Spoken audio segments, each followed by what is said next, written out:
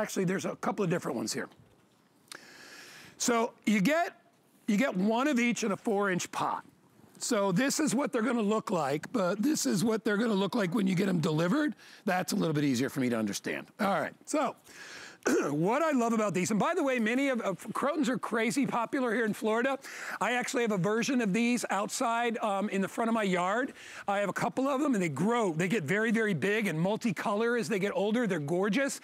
Um, you probably have heard of them before. This is the two-piece uh, Croton Duo houseplant. So what you're gonna get is you're gonna get the um, Petra in a four inch pot, and then you're also gonna get the red Iceton in a four inch pot as well. I'm gonna grab a drink of water and I'm gonna let Rochelle tell you all about these. Go ahead, Rochelle.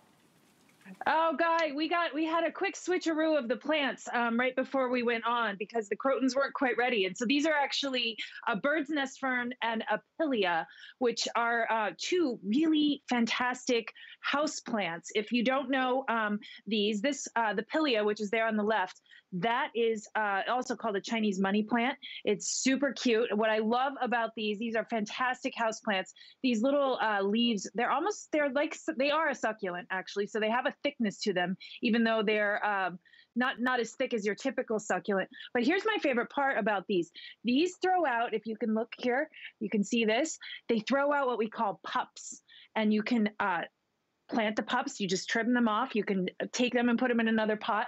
These are just such nice plants for um, giving away ultimately because they they create new plants um, very very easily. Super fun house plant likes. Um, likes a bright room, doesn't necessarily want direct sunlight. Neither of these really want that. They'll be fine um, just in a nice bright room, indirect light.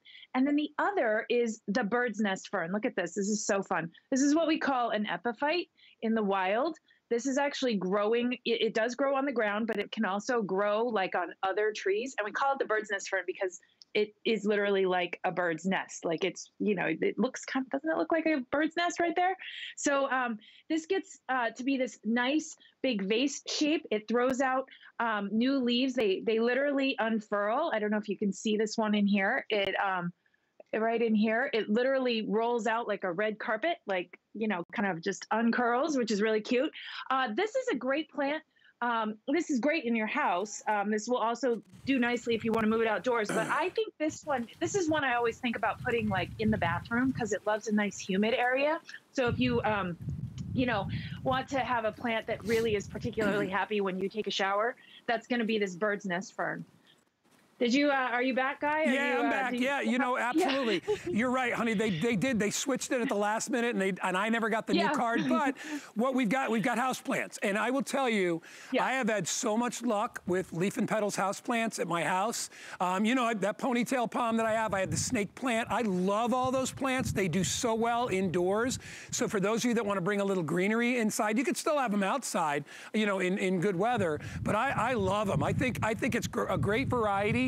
Um, and uh, these are really beautiful. I love the color variation yeah. in there, little yellow and green. They're, they're, they're gorgeous. They're super fresh looking. In fact, yes. um, they don't even like these new leaves when they throw them out. They they they have such a freshness to them that um, I'm, I'm, told that I, I don't. But um, that those new leaves, they don't even like to be touched. They'll they'll kind of they're just they have this kind of just fresh greenness that you know they don't uh, they don't even want to be touched, and you kind of don't want to touch them because they look so fresh. Uh, whereas the Chinese money plant, like these, I mean, these touch away.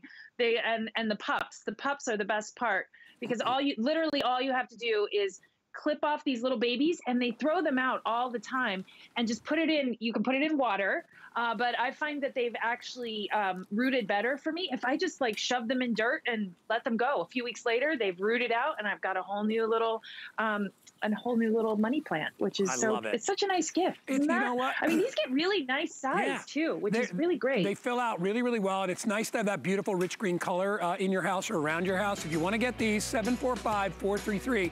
I'm sorry to rush along, but we've got so much to cover in the show. We've got our hummingbird plant coming up next, which I'm so excited about. It's one of my favorite all-time